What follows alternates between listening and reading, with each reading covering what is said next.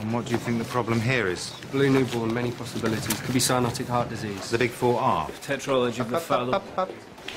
Tetralogy of Fallot, tricuspid atresia, transposition of the great vessels, total anomalous venous Or the possible fifth, persistent truncus arteriosus. Excellent.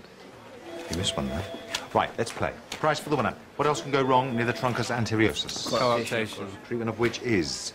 Come on, come on. Excision with end-to-end anastomosis, or left subclavian flap, or patch aortoplasty. Unless, of course, we're talking about recoarctation, which can occur later on, in which case balloon dilation angioplasty has been shown to be effective. Have a winner. Did you do a special paper on that? I had a friend who had aortic coarctation. Well, your prize is the privilege of delivering to my office a double espresso, bacon sandwich, brown sauce, white bread. Better be quick then. May'll be gutted if you miss this house meeting she's arranged. Don't worry, I'll be there. Come. Well, lovely. Pop it on there, will you? Attention, please. Janice. So you talking? Right. Here we go. This year's first grade. Grapes. And And she is now one of this country's Oh, top a very tricky neurologists. throw. It's high, it's the Frances. Lively. She works over at St James's. It's a tricky throw. It's to the left. It's fast paced. Can she get to position in time? She can. Right, that's enough. Hang on, that, I put think. that back. No, come, come no, on. that was on. my mum. I'm Hey, sure that was. careful! Right down. It's straight down the. It is. That's her. Look. Well done. Are you sure you don't recognise her? They were all Francis's friends. I didn't really know them. They weren't in my gang. Christine Fletcher. You remember her? Well, she hung around with our set for a bit. Were you friends? Mr. Jordan was on much more intimate terms with her than I was. He didn't remember her. He said that? Why did he send you to me? He didn't, actually. I've been doing a bit of my own detective work. I'm sorry, that's my next patient. If you could just wait here a moment. Sorry, am I early? I hear your memory's been playing up. Sorry? What I'm wondering is if it's selective amnesia or something neurological. What are you talking about? You don't remember Christine Fletcher? Who have you been talking to? Nick, Kieran Fletcher's in there. What are you doing here? Dr. Lively seemed to think that you and my mother were quite intimate. Weren't you? Maybe I got it wrong. How dare you rifle around in my past? I'm looking for my father. That means asking a few questions. Why does that make you so angry? I'm going to refer you to our hospital counsellor, Dr. Fletcher. I do not need to see a counsellor. Well, I think you would benefit from a session with him. Can we get on, please? I've got a busy day.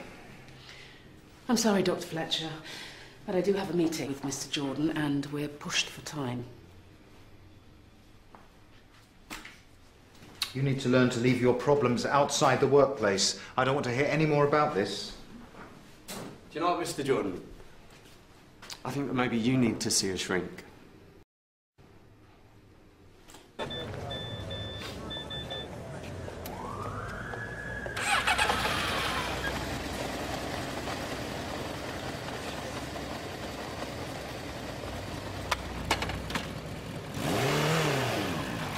This is beyond rude. Maybe he forgot. Stop making excuses for him, eh? I think you need to see this guy for what he really is. I mean, you, there's only one thing that he's interested in, and that's himself.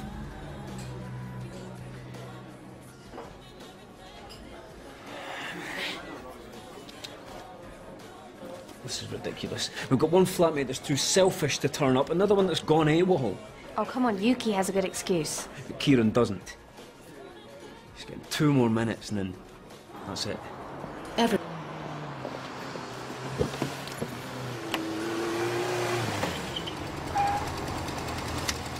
Don't you ever send me a text like that again. You stood us up! I got caught up at the hospital. Yeah, well, you could have called. I, I'm sorry, okay? I, I had stuff going on. Oh, well, that's all right then, because we've got nothing better to do, yeah? Grow up! Get over yourself. There are bigger things going on than your insecure ego. What did you say? Right! Give me the Lenny. keys. Get in the car. No way. Keep an eye on where he goes. Come on. I've I've got you. Can you just slow down a bit, please? It's fine, all right? Trust me. This is That's right. Coming for you. I'm coming for you. Lenny, shut up!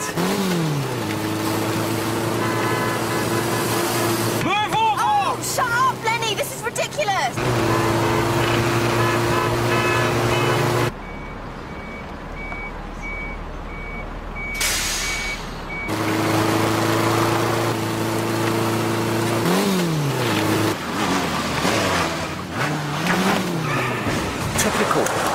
Shall you get? Lenny! Kieran! Kieran! Kieran, can you hear me? He's unconscious. Kieran. It's all right. Hey, mate.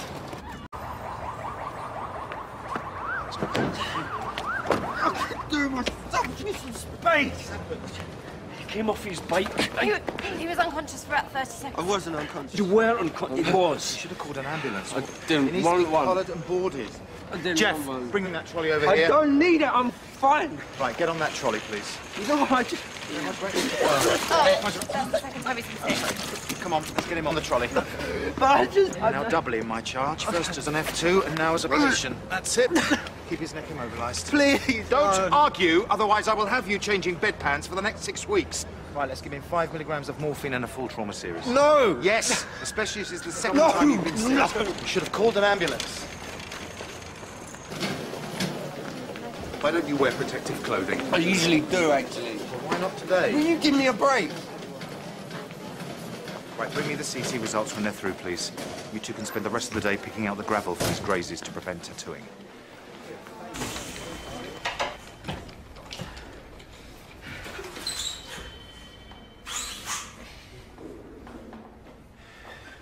Okay, mate, look. I'm sorry about what happened. I'm sorry I lost my temper, eh?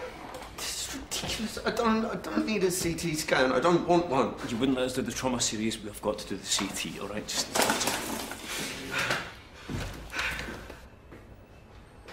I need to speak to Mr. Jordan. Why? What's so urgent? I'll tell you after.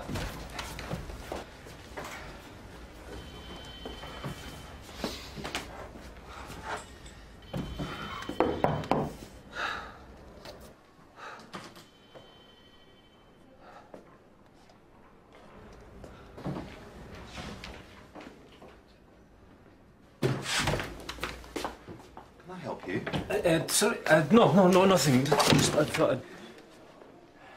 What are you doing in here? Came to ask for a copy. Right, that's enough. Get out. Get back to the department and get yourself cleaned up. I'm sending you on compassionate leave for two weeks, and if you ever mention this again, you are out for good. Do you hear me?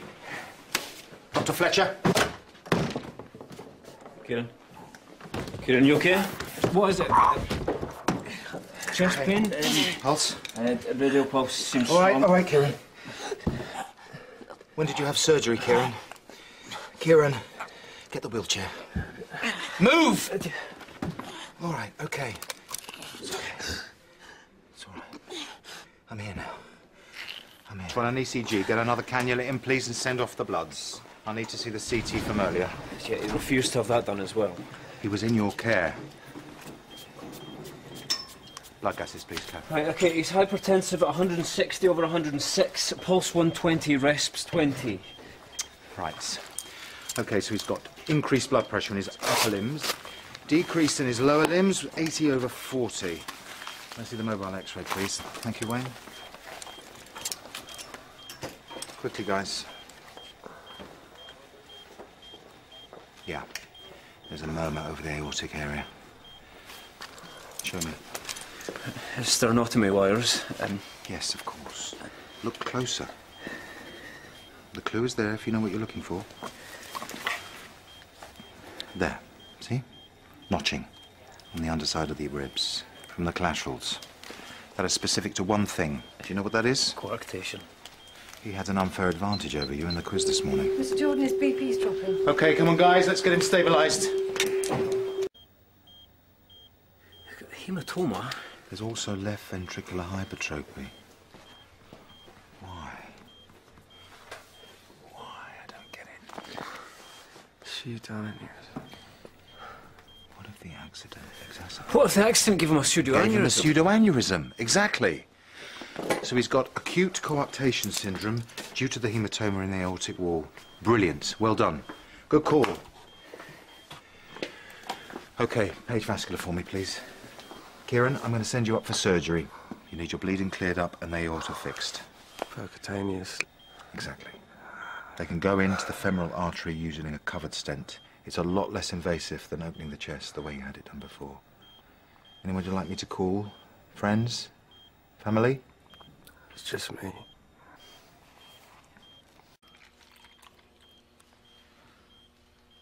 Did it go okay? Yes, it went very well. You just have to rest now and let it heal. Should be as good as new within a few weeks.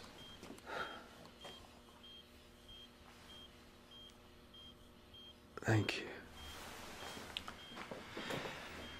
There is a story I remember about your mother, by the way. I just thought you might like to hear it. She would have been in her uh, in her twenties, about your age, and there was a rumor that she um, broke into a college ball one night. She couldn't afford a ticket, and all her friends were in there, and um, well, there was a way into the grounds, but you had to climb up a high wall and across the kitchen roofs and down a tree, and it was dangerous. It was difficult. But she did it. In stilettos and a white dress. She danced with a broken heel and grass stains. But she danced all night. Thank you.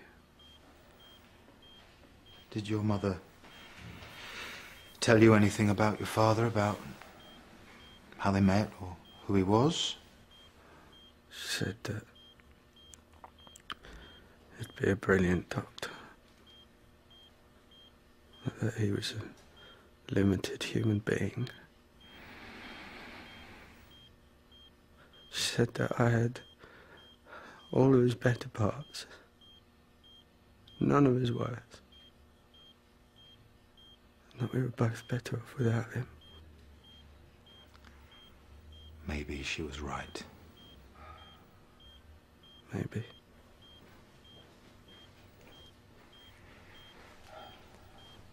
Can't pretend to know who your mother was, Kieran.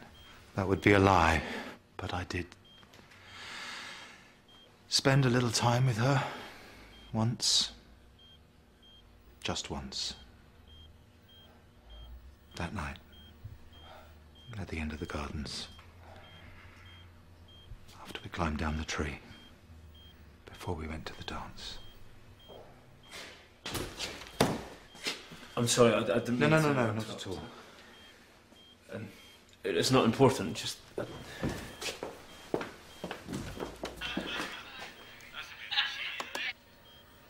There.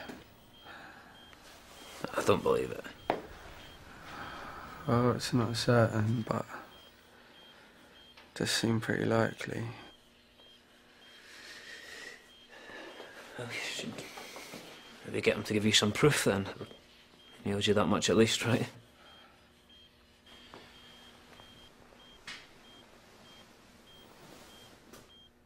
I need you to do something for me. Sure. I want to know for definite if you're my father or not. Either way, it will be a huge disappointment to you. Either way, it'd be a huge relief.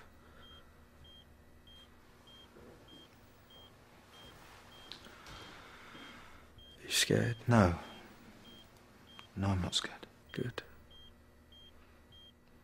I want you to do a DNA test.